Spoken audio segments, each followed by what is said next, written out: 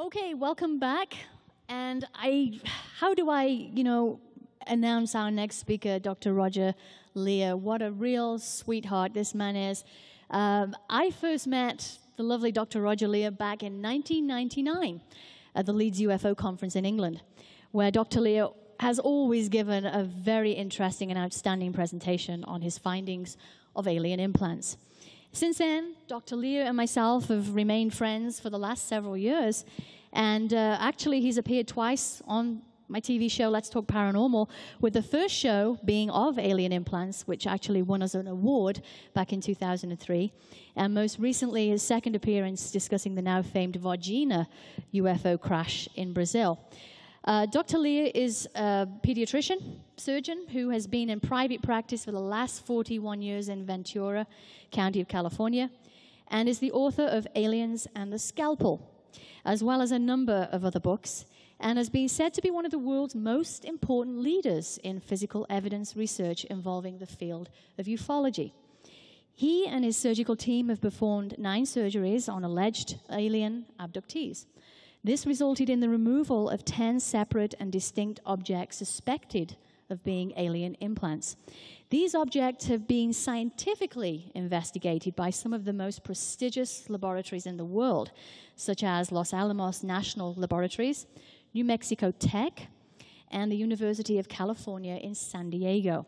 Their findings have been baffling, and some comparisons have been made to meteorite samples in addition, some of the tests show isotopic ratios not of this world. He has recently formed a new nonprofit organization for this purpose called A&S Research. Dr. Leir has been on numerous national and international television programs, including the 1999 NBC special broadcast of Confirmation. Dr. Leir has visited 42 different countries, performing lectures and investigations, and has recently authored and released his newest book, UFO Crash in Brazil, which is the story of his personal investigation of the Varginha, Brazil UFO crash of 1996. Appearance and medical treatment of several non terrestrial entities. He's a frequent guest on Coast to Coast with Art Bell, which I know you all know, and George Noory, and on Dreamland, also with Whitley Strieber. So please welcome our very dear friend and the man that knows more about alien implants than anyone, well, certainly on this planet, Dr. Roger Leir.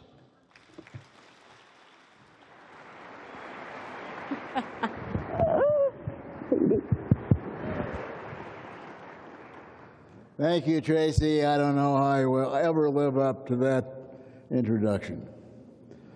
I want to thank, uh, first of all, uh, MUFON in general, who, uh, which is one of the, the greatest uh, organizations in the world. And I've, I belonged uh, medically through uh, the years to several organizations. I've been in practice, private practice now for 41 years. And I can honestly say that uh, nothing like this in medicine exists. You know, when I, I talk to, uh, to medical audiences about medical subjects, it's pretty dry. Um, most of the guys are sleeping or, you know, uh, are thinking about uh, doing their crossword puzzle or something else.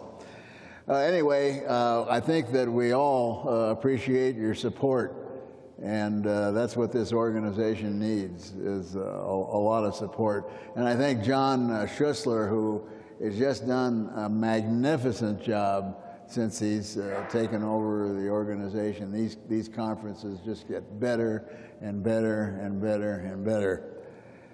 Uh, today I had the privilege of uh, listening to Phyllis Budinger, and people of her caliber are needed uh, in this organization because she is a true scientist. And also, uh, she went over a lot of material in detail. How many uh, saw her uh, this morning? Quite a few. Good, good for you. Uh, so I want to thank her again because since she's already explained a lot of this scientific detail, you see, I don't have to cover it.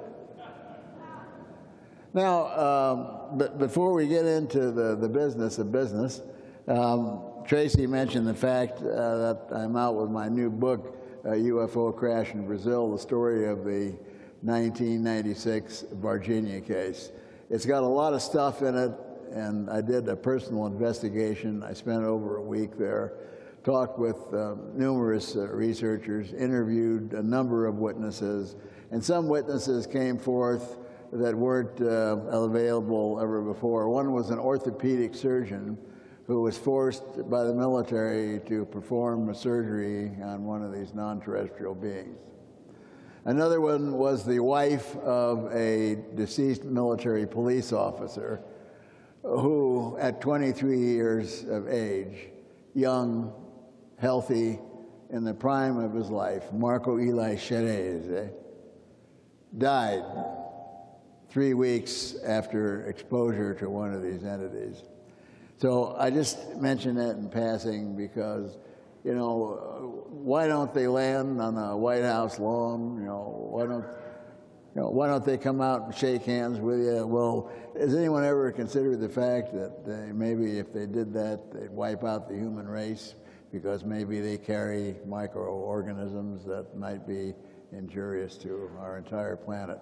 So there may be logical reasons for the things that we happen. Uh, but I'm going to go into a lot of uh, science uh, today. Also, I have, uh, if you haven't seen it, a DVD uh, and a video, a scientific study of uh, alien implants. we won an EBE award for this as the best documentary in the UFO field. And I think that it's very complete and it offers you interviews with the surgical patients, which now number 11. We've increased from nine. We have two more surgical cases to do, uh, one uh, with an object in her neck and one in the maxillary area. And we have another individual who has an object in her foot. The problem is M-O-N-E-Y. Uh, A&S research is now down to less than $300. We need funds uh, to progress. Um, the latest research that I've done has been on some non-surgical specimens. One was uh, submitted to me by this group, International MUFON, and we put it through its paces. It was very expensive, and I'm going to uh, finish up uh, my remarks by telling you uh, in detail what we did and what we came up with. Now, uh, I see a lot of different, you know, kinds of patients in my office, and I had a, a lady came in uh, the other day, 83 years old, and she said, "Doc, I, I realize that you're, you know, a, a, foot surgeon, but you know, I, I have something I have to discuss with you." And I said, "Well, if I can help you, I'll certainly listen to what you have to say." She says, "It's my husband." And I was wondering what's coming next. So maybe he's got an implant or something. and she said, no, his memory is really bad. I said, well, how old is he? Oh, he's 87. So I said, you know, uh, 87 years of age, you know, you can expect a slight, you know, deterioration of the memory. She said, well, he's just getting terrible. I mean, he's getting impossible to live with. And I said, well, you know, really that's not my field. You know, maybe you should consult a neurologist or a psychiatrist and so on. But one of the things that I can offer is that maybe he could write things down and that might help him with his memory. She says, okay, I'll try that. Uh, so she left and she came back the following week. Um, and she said to me, you know, I, I tried uh, doing what she said. She said, we were home one night and uh, we were watching TV and and uh, I said, um, honey, would you go out uh, to the kitchen and get me a little bit, a dish of ice cream with some chocolate syrup on it? And he says, sure. Now, she says, you know, Dr. Leir told me maybe you should write it down. Honey, he says, it's only two things. How can I forget? So a few minutes goes by, and out he comes with a plate, and he hands her the plate, and it's a plate of scrambled eggs. And she says, You see what I mean, Doc? He forgot to bring me the toast.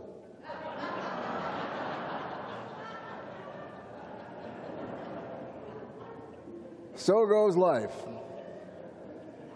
Anyway, uh, I realize that it's after lunch, and this is just the perfect kind of time to see what I've got to show you.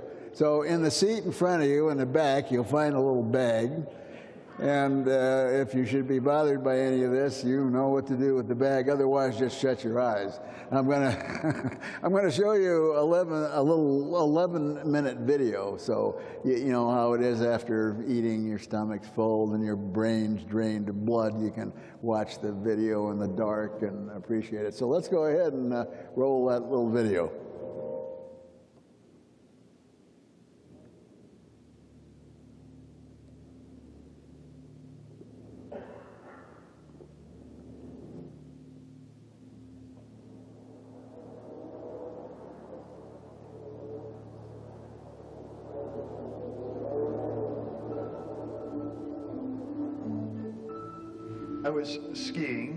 Some friends. I took a fall. They took an x-ray of the hand, and there was a strange object next to my thumb. Why me? I'm not a particularly extraordinary person. Why would I be tagged? I had this feeling like I was a, uh, a wild animal or, or a piece of cattle. I don't know how it's influencing my life, my thoughts, my health. I don't want that thing in me if I didn't give them permission to put it in. The object appears to be in the thumb, and it should be a relatively simple procedure to go in, isolate it, and remove it. Paul is an interesting case. We uh, took a physical examination of his uh, hand and arm. We looked for the telltale marks of the portal of entry. Uh, we didn't see any. Am I anxious? Am I afraid? Sure I am. Will I be relieved if it's not alien? You bet. When the object was removed uh, and we looked at it, you don't really find things in the body that are wrapped with this very tight, sort of grayish, very shiny uh, biological membrane, and then try and take a surgical blade and cut through it with a knife and can't cut it. It looks like it might be an iron oxide. If we can crush it and get it to very small size, we'll be able to really get to the internal structure more readily. The object resisted crushing, but an outside layer did flake off. This was put under X-ray diffraction, and the results of the test were curious. They couldn't match it to any of the 65,000 known substances in their computer file. It's not in our file. I'm not sure what to think about that at the present time. That's as many known substances that we have on the planet as possible. The combination of these elements could be put together by nature, they could have been put together by man, or they could be put together with a different type of uh, physics that uh, we have little knowledge of. I had this experience of emptiness, sort of like a feeling like maybe a pet had died. I'm not sure how to explain it other than this sense of something missing.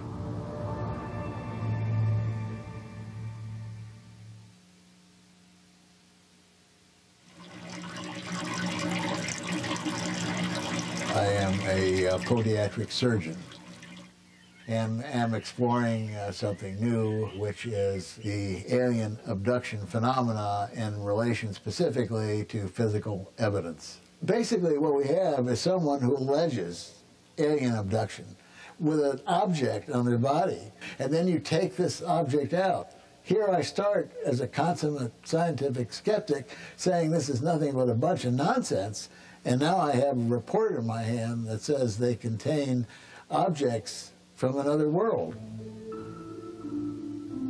I was coming home from a medical checkup in Denver with my wife. I, I saw this spherical shape, lights, uh, many lights, and uh, it was large. Came right in front of our car. When we did encounter the UFO and spotted it, and the events of the night started to happen, it, it was a it was an awesome realization to me uh, to realize that we were not alone in the universe. It was something not of this world that I've seen. I do feel that this implant was from that first encounter. There's no doubt in my mind. Okay, getting close. Is it a boy or a girl? Well, we don't know yet. Let's see. Here it is, here. So let's put in a piece of white gauze. I think this is it, so we're going to x-ray to make sure. I, I'm objective, and I don't really know that, that this is different. I really have to have it analyzed, though. You don't know what it is. He's a construction worker. I would imagine it's probably some construction particle that flew and hit him we didn't even hardly feel. And it was in him. We just found it by coincidence and took it out. That's what I think it is. The object that we removed today uh, contains uh, or is surrounded by the same type of membrane that we have seen in the other objects. I have never seen anything like uh, the membrane which uh, surrounds these objects. It's a very uh, well organized, uh, shiny, dark membrane which fits very tightly onto the object. And we've also had analysis of this and it has uh, simple ingredients in it, but you do not find those ingredients uh, in combination anywhere in any medical pathology book. The shocks began to continue, and especially when we got the first pathology reports back on the tissue, not the tissue that wrapped so tightly the metal within, but the tissue that we removed just the tissue around the object where it was sitting nicely for so many years. And we found that there was absolutely no inflammatory response whatsoever. And this is impossible. The next thing that we found was there were areas in this tissue surrounding these objects with large amounts of proprioceptors, which are very small, tiny, specialized nerve cells and you don't find them there. These objects are mostly all located near the bone. This is not the place where you have proprioception. And then the next set of findings that came in were the metallurgical findings. Getting a report back from a laboratory such as Los Alamos National Labs, a world famous laboratory, telling me the objects they looked at were meteorite samples. Then, when we went on even further and found things like uh, amorphous iron without crystalline structure that was magnetic. And then finding ratios, isotopic ratios, for metals that are not from this earth, then what conclusion are you going to come to? Since the uh, time uh, when we started, uh, we now have a total of 10 surgeries that have been performed we have, let's say, three that have produced these little grayish-white balls that are non-metallic. We have four that are little cantaloupe seed-shaped affairs. We have another little metallic object, which is T-shaped, covered with this membrane. We have one that's triangular, covered with a membrane. Now, we have a new category, which is totally biological. Now, this object was most unusual in the sense that it moved underneath the skin before it was removed. I was at my boyfriend's house. We were woken by a very, very bright light. The whole room just lit up, and there was a uh, sphere in the air, slowly coming down in his backyard. Who would really believe it? Not even my best friend did I tell who would I tell? I would just wouldn't tell that to anyone. It's too crazy. My first reaction uh, when I saw it uh, live in the patient's arm uh, was uh, shock. I've never seen anything like this in uh, over 37 years uh, worth of practice. It moved back and forth and up and down. You could just do anything to it. It seemed pretty odd, along with the story of the thing that had happened to me, and I just thought, I'll go ahead. It just appeared overnight. There was no little thing that was growing, and it just seemed to appear one day. I do think this is related to the experience of what happened to me. Well, I tried to uh, trap this thing with a finger after I saw it move the first time. And uh, then, uh, as I held it there, I touched it again, and instead of moving back in the direction that it came from, it moved 90 degrees in another direction when the doctor was trying to remove it, he was going, this is ridiculous. He said every time he was trying to snip and do things, he was saying, this is just really, really, really odd that I'm having such a hard time with actually getting this out of there, almost like it did not want to leave my body. It did try to move out of the way, and he had to use uh, a couple of fingers in order to sort of uh, corner it in one spot. And once it was cornered in one spot, the surgeon really reached in and took it out. And this uh, object is, uh, has a very smooth exterior, and it's uh, bivalved like a clam that opens uh, from the middle and has a little dark line on each each side of this uh, upper end of the object. The surface of it was photographed under high magnification using a microscope uh, called the atomic force microscope and very powerful light microscopes giving us uh, some idea of the surface structure of the object. Later we intend to go ahead and begin to study what uh, chemically makes up the object and finally what elements uh, make up the object, and then, of course, try and determine if these elements uh, have things like isotopic ratios that are not earthly.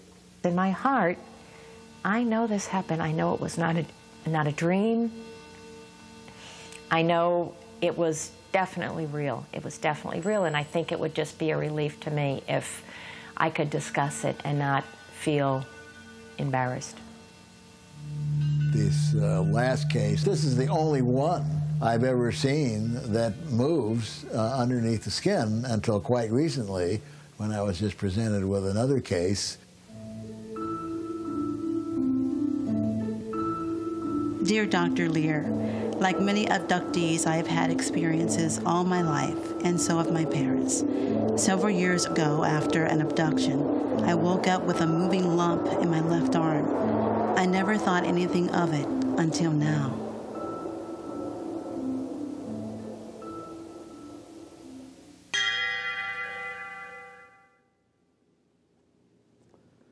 Thank you. I hope you enjoyed that. Um, I might say you're the first audience that's ever seen this little short video.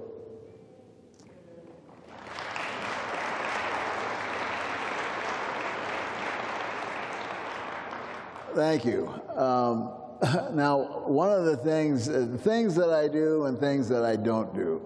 I don't do what Bud Hopkins does. I don't do what David Jacobs does. I don't do what the late John Mack does.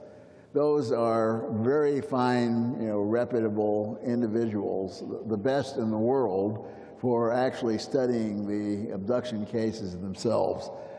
Uh, where I come in is what physical evidence is involved, either medical evidence or implant evidence. And we try to subject that to the most uh, scientific paradigm that there is. Uh, one of the things that is very difficult in my neck of the woods is to find somebody of the Carol caliber of these other individuals who can work with, uh, with um, abductees and, and try and help them. So uh, I came up with the idea of uh, really, truly uh, trying to attempt to build uh, from the ground up, including the property, a West Coast Center for Abduction Research. It's a big proposition. It costs a lot of money because we want to buy the property, the building, uh, have our own staff. Some things we'll do in-house. Some things we'll, we'll send out, but it will be a place where anybody can go and study. We can study this phenomena the way it should be studied. Um, not, not a lot of people trying to do little bits here and there, a very comprehensive thing.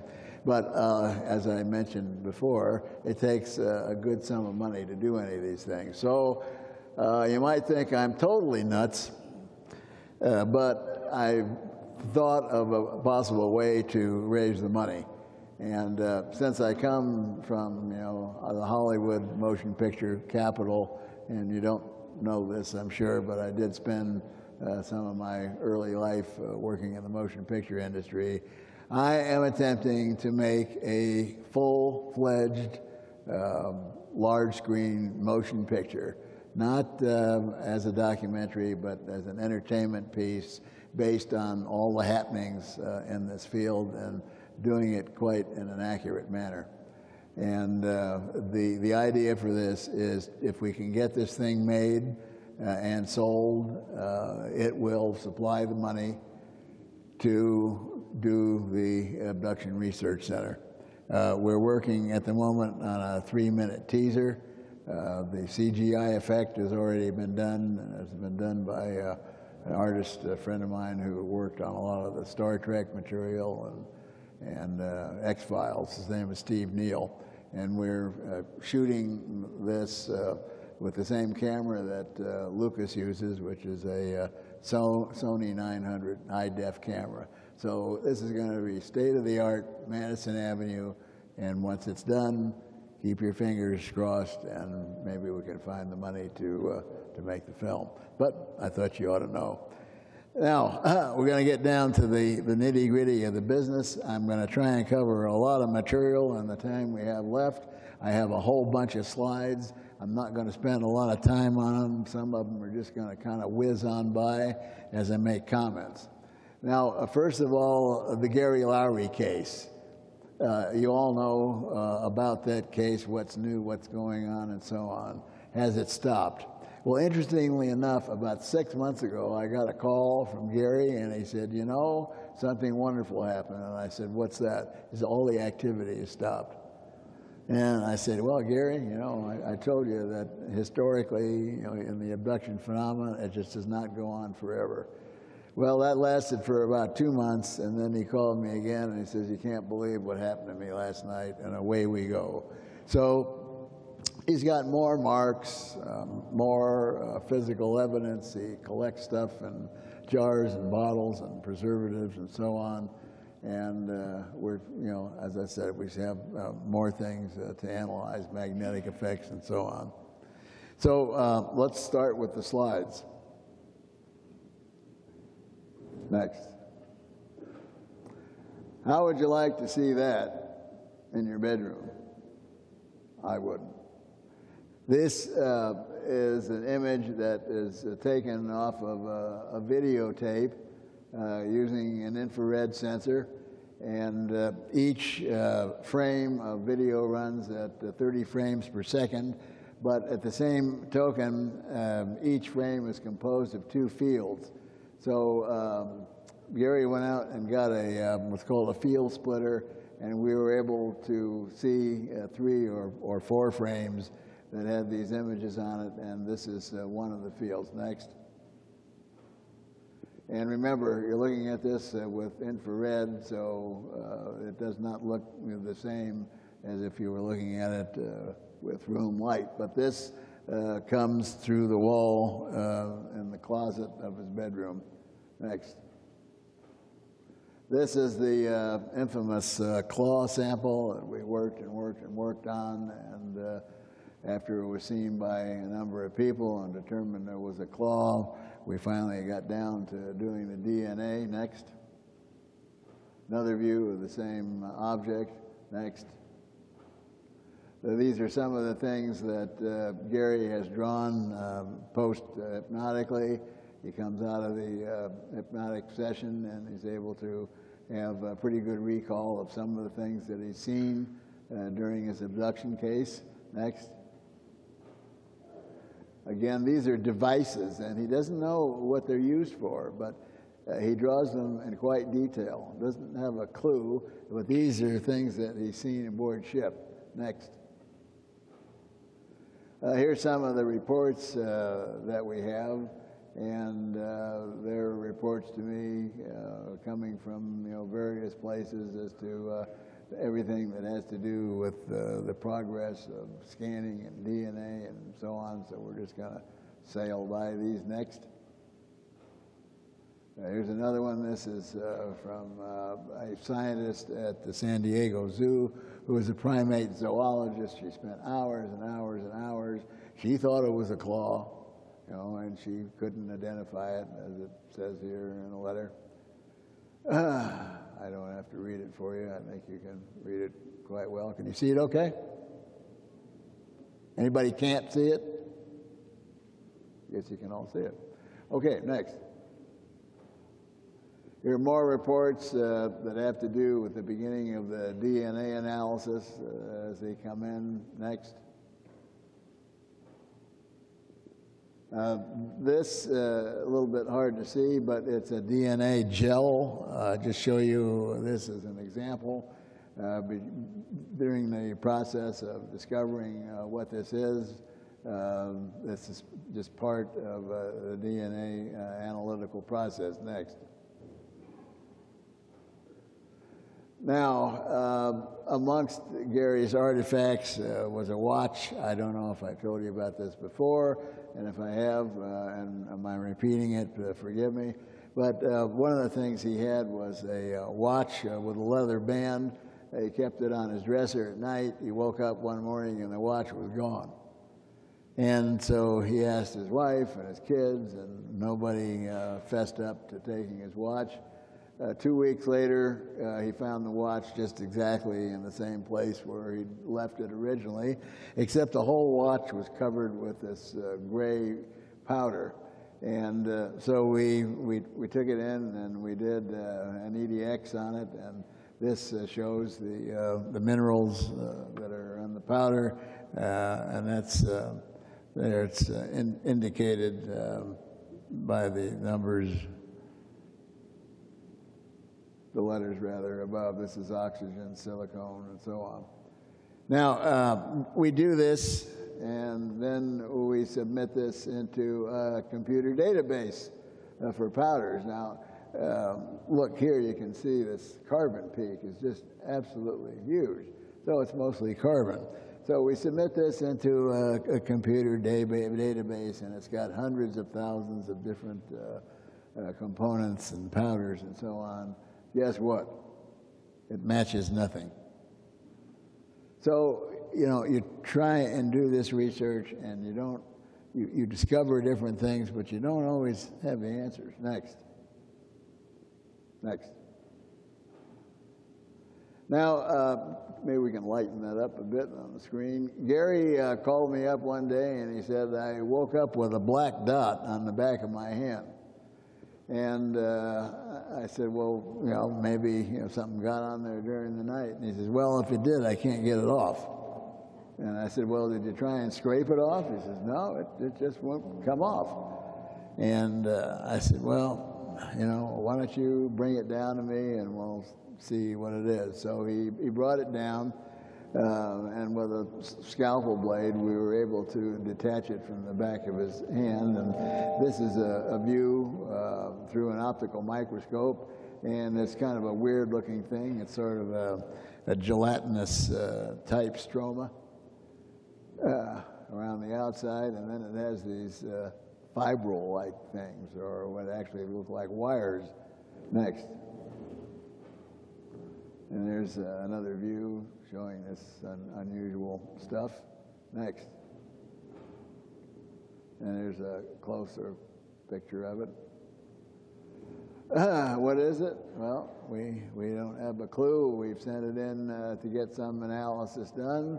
Uh, and so far, uh, it could be uh, animal, vegetable, or mineral, but we don't know what it is. Uh, so there's another, you know, um, you said, gee, this guy's up here showing it this stuff and he doesn't have any answers. Well, if I had the money, uh, I would have the answers because you could go on. That, that's why I admire Phyllis uh, so much. She's able to lead these things to uh, some kind of a conclusion. Next. Another view of this same weird thing. Next.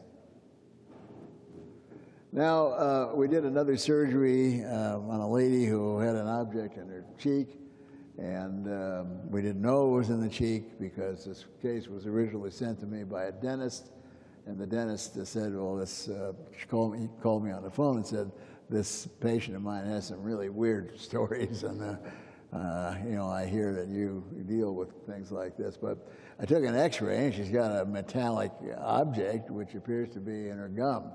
So I told him to send me the x-ray, and um, I looked at it, and we took it to our radiologist and then to a dental consultant, and I said, well, you know, it looks like there's something there. Certainly it doesn't belong there, but I don't know whether it's in the gum, so uh, let's uh, have her get a Panorex. So communication again, and we got a Panorex done, that's the whole mouth, and uh, that showed it up a little better, but we still didn't know where the thing was.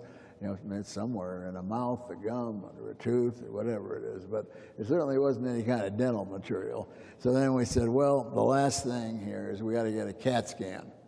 So we did a CAT scan, and lo and behold, it wasn't in the mouth at all, it was in the cheek. And it was in the cheek superficial to the masseter muscle, which is a muscle in the cheek. That means that it didn't go in through the mouth, it went in through the outside. But as in all the other cases, there was no scar. Next. Now, uh, this case uh, caught the attention of uh, George Noory and his uh, producer Tom. And so he said, Can I come uh, to the site when you're doing the surgery? Because uh, I want to do a show on this tonight and I'd like to record, you know, this while it's going on. And I said, Let me ask the patient if it's okay. And she agreed. And so there's George and there's Tom. Next. And uh, these are a number of people that are involved in the surgery. This instrument here with the arch is what's called a C-arm. It allows us to see uh, inside the tissue as we're doing the uh, surgery, uh, which appear on uh, some television screens. Next. Next.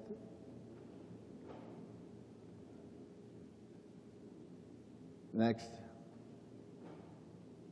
Now we mark the area uh, where we think this object is, uh, and uh, then we, in addition to this, we use some metallic markers. Next. These are the metallic markers. That's somewhere between these two metallic markers. So uh, that's where you make your cut. Next. Now here's what the x-ray looks like. Here's the object uh, on the x-ray. Next. That one's kind of hard to see, but it's down here. Next. Now this is the uh, uh x-ray device that we're using, the C-arm, and here's the two television screens, and you can see uh, what you're doing while you're doing it. Makes it a lot easier for the removal of a foreign object. Next. Here's an instrument that we placed in the wound, and you can see it's just uh, right at the tip is the object that we're trying to remove. Now, we had a lot of difficulty here because some magnetic phenomena uh, was occurring, and uh, this object was being propelled away from the surgical instrument. And surgical instruments are not supposed to be uh, magnetic. It could be rather dangerous, you know. Uh, so you would think that if this was, you know, ferrous metal and highly magnetic, it would just be attracted to it and almost come right out. But that's not the case. Next. Now, uh, here we put in uh, a needle, and uh, this needle runs uh, parallel to the skin, and it gives us uh, another uh, geographical architectural point to work from. Next. Here's the uh, needle again, and see again, it's uh, pointing right to the object. Next. There it is. Looks like it's close to the surface of the skin. Not true. Next. This is it after it's been removed, and you can see that it's got kind of a, a curlicue thing that goes all the way around it. Uh, at first, I thought this was not covered with this uh, strange dark gray membrane, but when looking at it uh, under the microscope, uh, we found, uh, yep, there it is. Next. Now, uh, George was actually able to uh, interview the patient and uh, get some thoughts as the surgery was going on and after it was over. Next. Next. Next. Next. Next. Next. Next. There it is. This is some tissue that we remove that surrounds uh, the object. We always do this because uh, we submit this for separate analysis, and in the past uh, we had found that this uh, surrounding soft tissue absolutely has no inflammatory or rejection reaction whatsoever. Now, if we could uh, duplicate the membrane, as I've mentioned many times before, that surrounds this thing, my God, you could wrap a liver or a kidney or whatever you want in it, and the patient wouldn't have to take uh, things like cyclosporin and other uh, very expensive immunosuppressive agents for the rest of their life. Next. There's another view. Next. Next. Now, uh, under the optical microscope, you know, uh, in, in doing uh, research on, on either surgically removed objects or objects that may have something to do with abduction, like Phyllis did with the uh, Betty Hill dress and so on, you, you can't walk into a laboratory and say, see, I have this thing. Here it is, guys. I want you to do what you're going to do and tell me what it is. Science doesn't work that way. Uh, there are a number of different tests, and so you have to be there to tell the laboratories what tests you want. And depending upon the conclusion of the first test, it depends on what you're going to do for the next test. And if you don't do that, the whole thing is a waste of time. And somebody was telling me uh, at this conference about a little uh, ball that supposedly came out of a nose and it was given to a lab and they didn't find out what it was. You can't do that. You have to know what test to order. So the way I look at things uh, is sort of in a practical aspect. Let's learn as much as we can from the outside surface, and then we'll go deeper into it and see what it is. So the first thing we do is optical high magnification photography. Let's show that slide again. Next. And you can see it's a very, very shiny metal. Next. And it has grooves which run uh, 76 degrees parallel to the long axis uh, of the rod. And when the scientists uh, were looking at this, they said, uh, oh, this is probably a piece of extruded metal. That's what made the lines, and et cetera, et cetera, et cetera. And I probably even know the instrument that it was used to cut it off the stock with. Next. Next. And then we got to looking at the ends of the object, and we find that these lines totally cross the ends. And they said, whoops, there goes that theory. Because extruded objects, if you, you cut the thing off, the same lines don't go around the end. Next. Next. Okay, now uh, here's a, a report um, on uh, a sample uh, that was uh, given to me uh, by MUFON. And um, we, we started doing the, the, the, same sort of thing. Now, usually I, I don't accept surgical objects which are taken out by somebody else.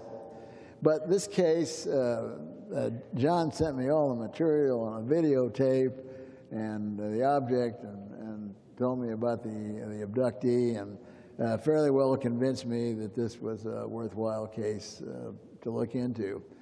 Now, when I remove objects from the human body, uh, they're placed in a uh, serum solution. We, we take whole blood and then we spin it down and when we, when we spin the thing down, it separates out the liquid portion, which is the serum, and then that contains a, pres a preservative and an anticoagulant, and we pop the thing in there, and they, they're so far, knock on wood, are as happy as clams. Uh, but this doctor didn't do that. I'm sure he was very well meaning, so he put it in a solution of formaldehyde which is okay. Uh, it didn't seem to deteriorate, so we went on uh, from there. Next. And uh, we, we got uh, several uh, reports back, uh, which I'll read you the last report, so just go on. Next. Now, we did optical photography on this. Um, you know, uh, with um, a microscope, a light microscope, and we got to looking at the outside, as you saw with the metallic rod I didn't bring those uh, slides. That way, just have too many slides. Anyway, uh, that showed us what it looked like.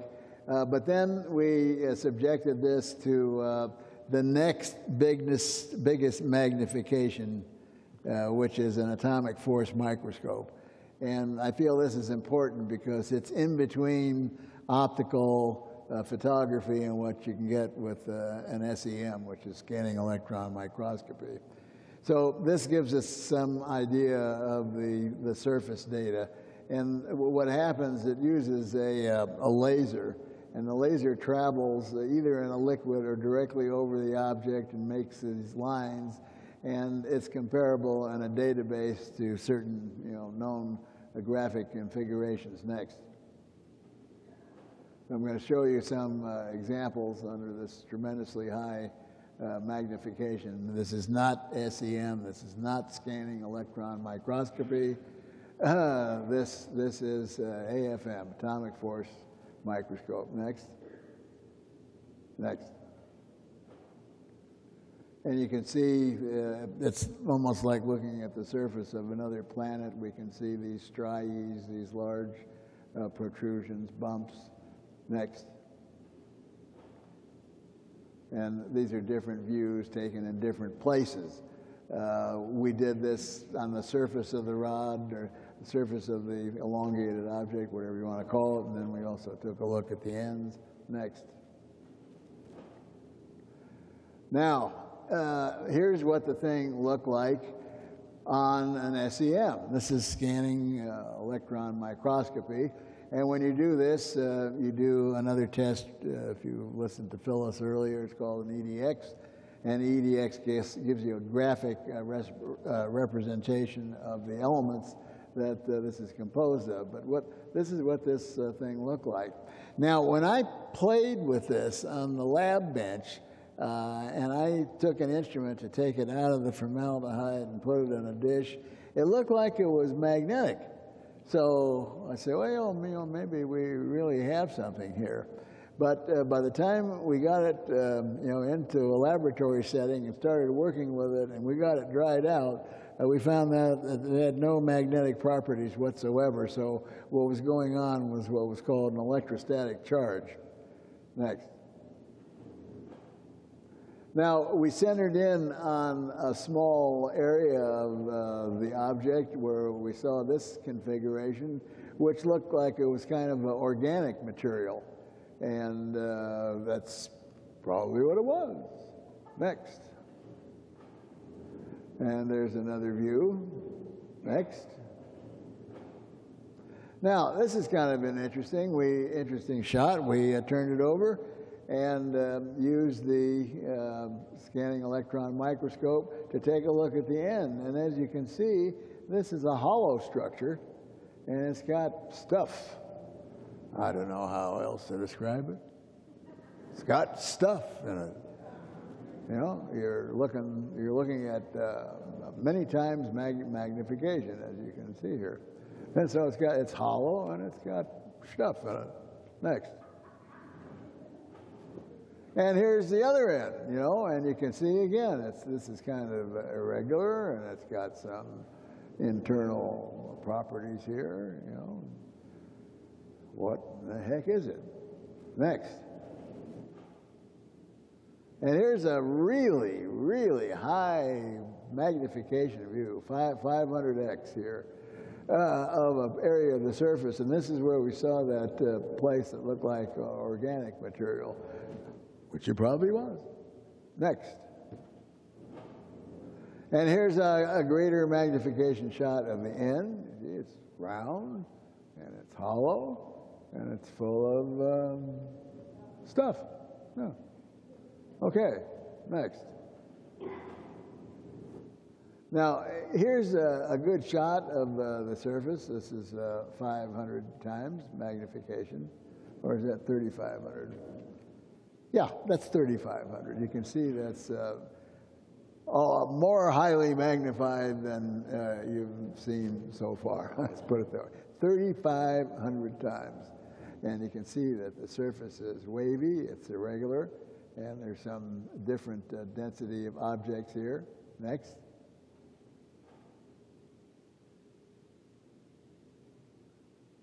Next. Now, we said, well, what the heck? You know, wh- what is this made of? My gosh. Well, look at this. Boop, boop, boop, boop, boop, boop. Carbon. We got a lot of carbon in this thing. And then we took a look at some of the elements here and say, hmm, this certainly doesn't look metallic. It looks organic of some sort. Next. Then we took uh, another piece of the rod and uh, we did the ADX, EDX on it. And again, this uh, long carbon peak, and you see the rest of the minor elements here. And say, well, you know, this is getting to look more like something we might know what it is. Next. And here's another one. We did different places on the rod, just in case, you know, there's some place that's got something totally different, but same sort of stuff. Next. Different places again. Next. Now, uh, what we did, we looked at that, and uh, the lab guys gathered around and said, you know, this looks like it could be cellulose. So, uh, Phyllis talked this morning about infrared spectrometry, a test that's called FTIR, and I said, well, let's do that next. Now, you remember that when you walk into a laboratory, this was done by SEAL Labs in Southern California, and they're uh, very well qualified forensic laboratories. When there's an aircraft accident or something happens, you know, with NASA on the shuttle, they get these little pieces of metal and things, and they have to uh, come up with an analysis and a report of why the metal fractured and so on. So they're not, uh, they're not the caliber of a university laboratory with uh, one professor and a bunch of students who are trying to learn how to operate a machine. This, this is a real, true forensic laboratory. And you walk in through the front door and you say, this is what I want to have done. And we have group meetings and they make suggestions. Well, what about doing this and that? And then I say, well, let's see, let me get my checkbook out here. Well, I don't know. You know, they want six hundred dollars for this. Can you do it for four eighty-two fifty? And you know, because we we're a nonprofit, we don't have any money. Oh no, we can't do it for that. All right, make it four eighty-five. I'll write the check right. So anyway, you can wheel and deal with them. They're nice people. So, but it takes uh, money to do this. Next. So what we did, uh, this uh, the FTIR uh, produces, uh, first of all, um, this graphic recording here, and then it uh, goes through a computer. Everything goes through a computer today. Uh, sometime in the future, I'll probably go through a computer, and I won't be standing here. It'll just be a virtual image of me. I'll be at home, asleep, or fishing someplace. You know, this, this is modern science stuff. And so they looked at this configuration, looks pretty much the same. Hey, it's cellulose for sure. Uh, but what's this? This uh, something different. Next. Next. So we did uh, some comparisons and uh, trying to find what these uh, other uh, areas are, look like. Go ahead, next. And then uh, we did some more of them, and it began to look like certain amino acids. Now, isn't that strange? This thing comes out of the human body, and it could have amino acids there. How strange. Well, that's what we find in the human, in the human body amino acids. Next. Now, uh, here's the report, and uh, since it, it, may not be that clear, I'll, I'll read it to you because this is the crux of the situation. Uh, this, as I said before, this, these tests cost me a lot of money. Here's what we got. Uh, material analysis of sample SEAL lab job number 20363. Dear Dr. Leir, the submitted sample was examined in a scanning electron microscope, SEM, and analyzed for elemental chemical composition with energy dispersive X-ray EDX microprobe attachment containing a thin window detector. The EDX microprobe, micro, microprobe spectra was obtained at 20 kilovolts electron beam voltage, condition that simultaneously detects all the elements in the periodic table above the atomic number 5, which happens to be boron. Uh, the submitted sample was 3.25 millimeters in length, 0.45 millimeters in average diameter, had a black color with a lighter interior when examined from either end. The sample was non-magnetic. The side view of the sample is shown in figure 1A, which I showed you before. A small particle was present on the surface, shown in figure 1B, which is, as I said, probably organic material, tissue. The, the end-on views of the sample are shown in figures 2, 3A. A cellular structure is seen. Detailed examination of the sample surface revealed some linear features. Uh, the EDX microprobe spectra obtained on the small particles shown in figure 1 is represented in figure 5, carbon, oxygen, calcium, sulfur, silicon, titanium, sodium, uh, zinc, traces of iron, potassium, aluminum were all present. And this is the normal stuff you usually find either in the human body or in a tree. The EDX microprobe spectra obtained on the small particles shown in 1B presented in figure 5, um, et cetera, et cetera. And then we go on, EDX microprobe spectra obtained on both end views. General surface shown figures uh, 2, 3, 4, et cetera, et cetera. Uh, varying amounts of carbon, oxygen, calcium, sulfur, sodium, phosphorus were present. Uh, since the sample revealed large amounts of carbon and oxygen, it is primarily an organic material with some inorganic materials. To further characterize the organic nature of the sample, it was analyzed using a Fourier transform infrared FTIR microspectroscopy.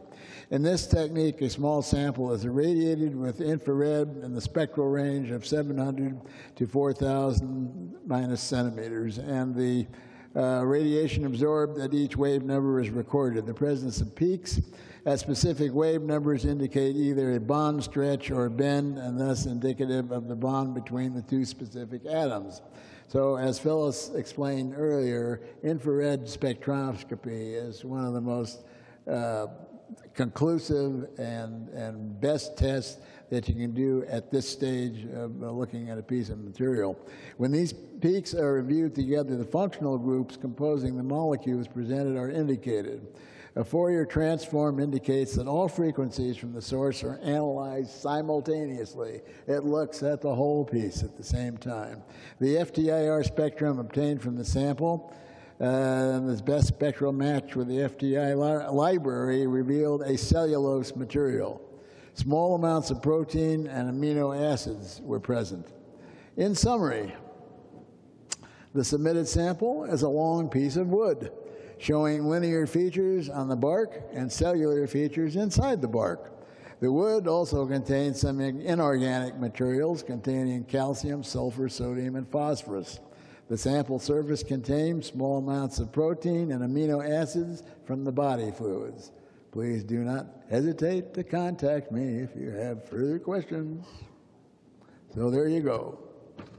Lots of money spent, thorough investigation of an object, and we have a piece of wood. So, uh, what does that mean uh, overall uh, with the case? Does that mean that there is no abduction? No. The abduction case could be as solid as possible. It's just that the object that this individual had within his body was a sliver. You know, and as I said, I didn't do the surgery. I received the object in formaldehyde and proceeded to do what uh, they wanted of me. So there it is. I mean, that's, that's the way science is done. You don't always come up with uh, things like you saw in, in the video. But when you see material that is highly magnetic, and when you do X-ray diffraction on it, and the iron is amorphous, believe me, folks, we don't know how to do that stuff because I was in a black budget laboratory in San Antonio, Texas, and here were scientists that were crowded into the room, and they confessed to me that we knew how to make amorphous metals. Naturally, they wouldn't tell me what it was used for, but you got to believe it was something military.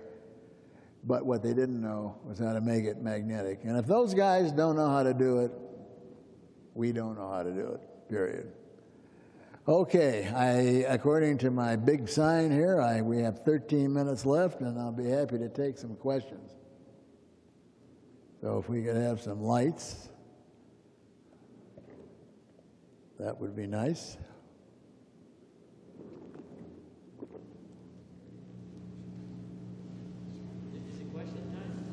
It's question time, but I'd like to have the lights on so I can see who's asking the questions.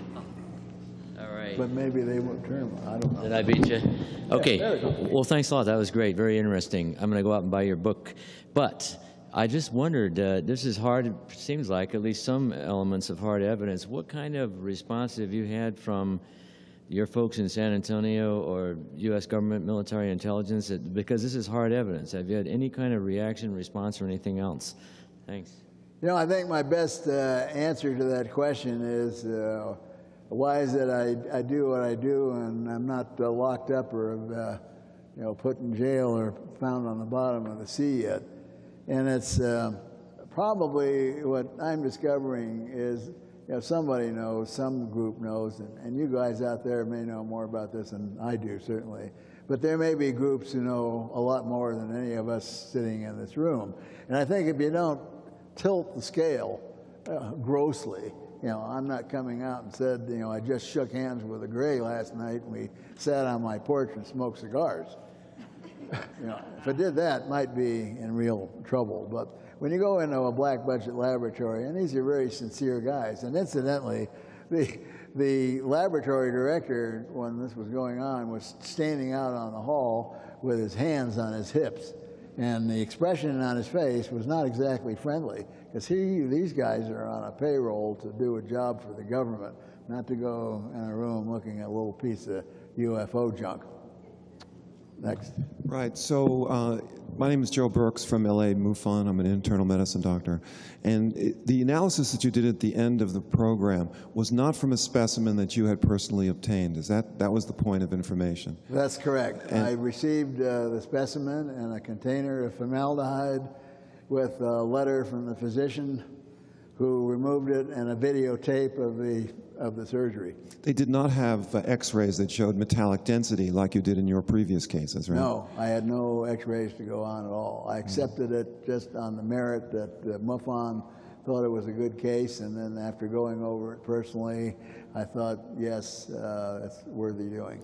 And so you're going to modify your practice in the future in terms of uh, um, focusing on things you've removed yourself that you can vouch for. Is that right? Not necessarily, because Joe, uh, in the last two years particularly, I've received stuff from Australia, from Japan, from Israel, and a few other places.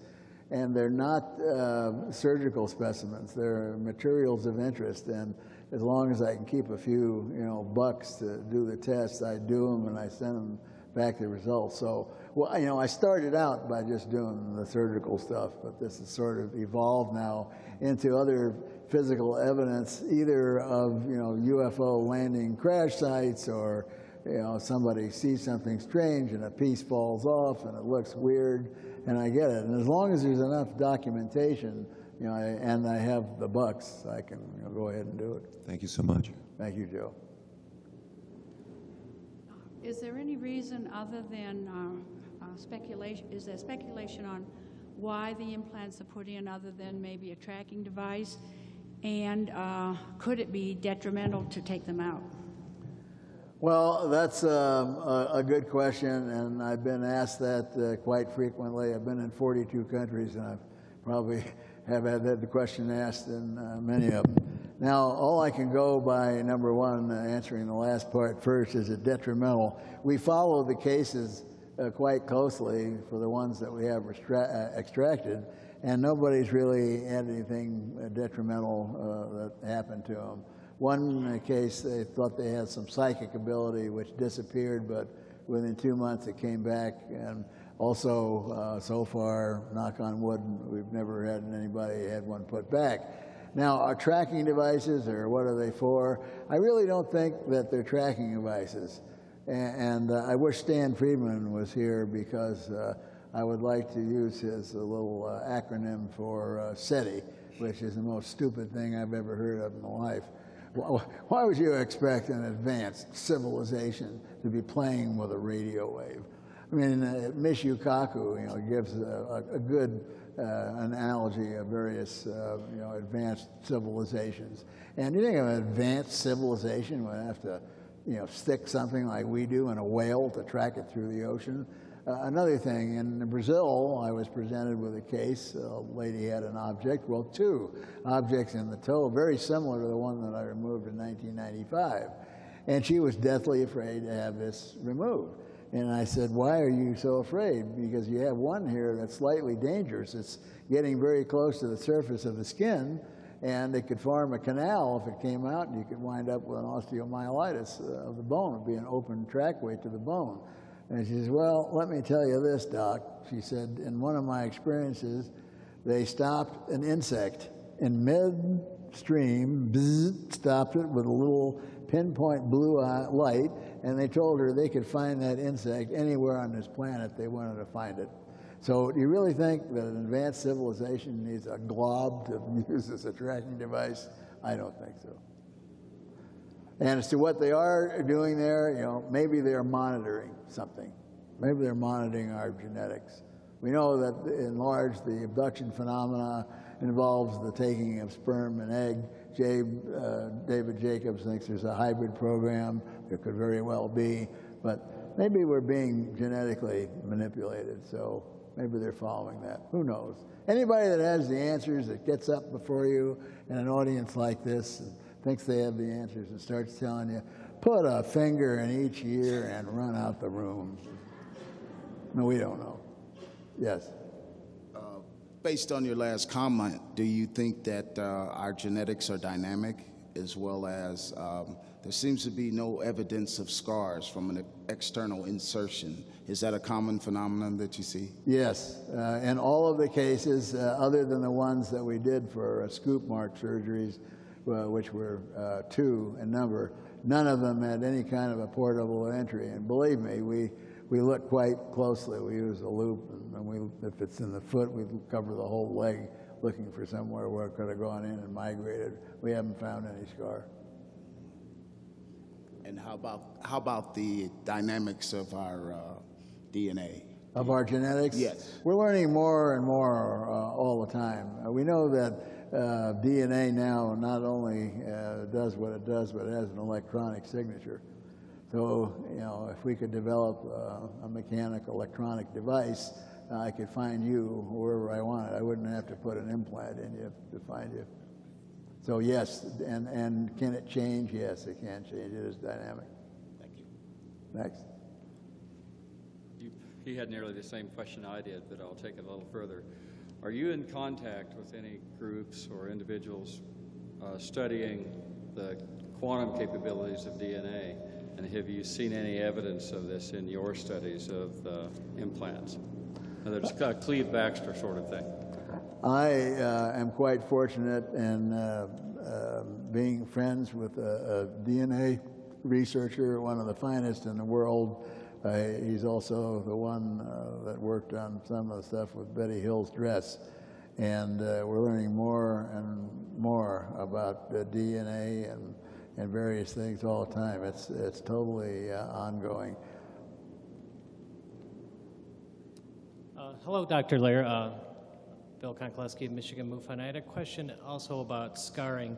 Um, you said that in most of the cases there haven't been any um, scarring from the insertion of these objects. Has there been a real detailed study on people who have scars to check to see if they may also have implants? Good question. Yes. I get numerous, numerous, numerous emails and phone calls and etc. And when I go to conferences, there's people that come up that do have a scar and think they might have an object. And my advice to them is go have a plain, simple X-ray taken. You know, what, what's a few uh, going to do in the face of the environment that we live in? Not going to make that much difference. Get a plain, simple X-ray taken and see if anything shows up. Next. Two questions, if I could.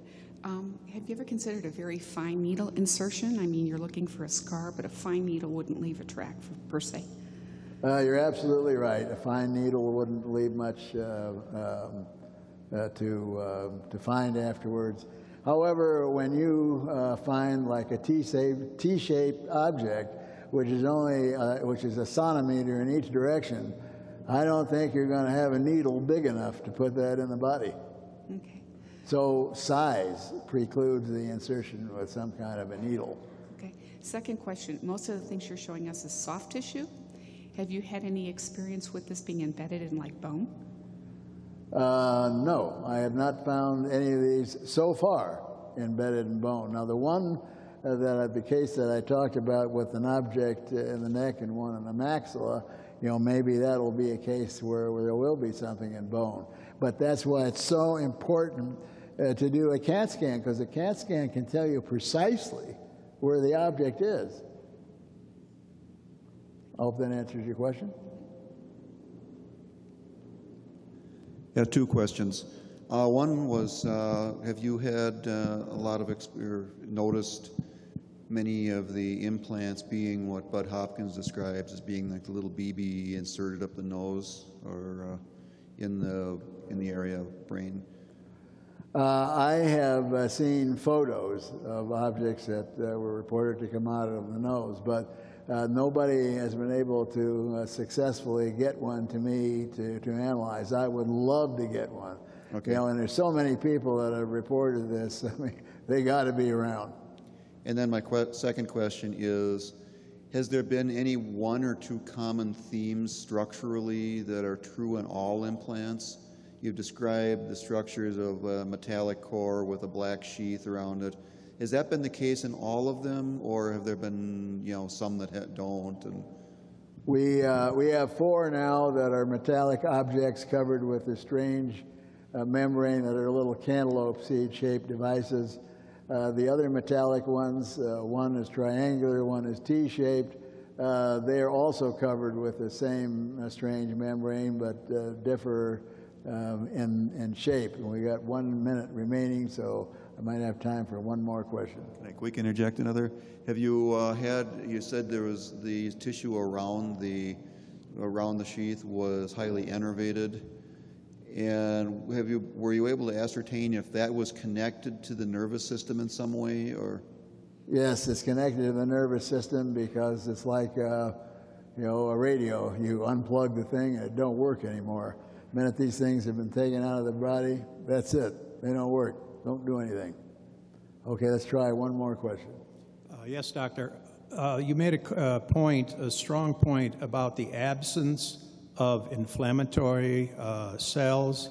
Uh, could you expand upon that and just how rare that would be with objects in the human body? Okay, it is extremely rare and virtually impossible. You cannot get foreign material inside the human body without having a reaction in the form of inflammation. The body wants to reject or get rid of the object that it's in there. And there's a whole scenario of inflammation with increased blood supply, increased number of white cells, uh, phagocytic development in order to try and remove the object. Finally, it can't be removed. You get fibrosis that uh, goes around the object, such as what happened in the pilots that were involved in war actions and had shrapnel that stayed in their body for 20 years. The, it's there. It's called a chronic inflammatory reaction. It becomes walled off and acts like it's not there. And I thank you so very much for your kindness and your attention. And if anybody wants a book, I'll be out there. Thank you so much.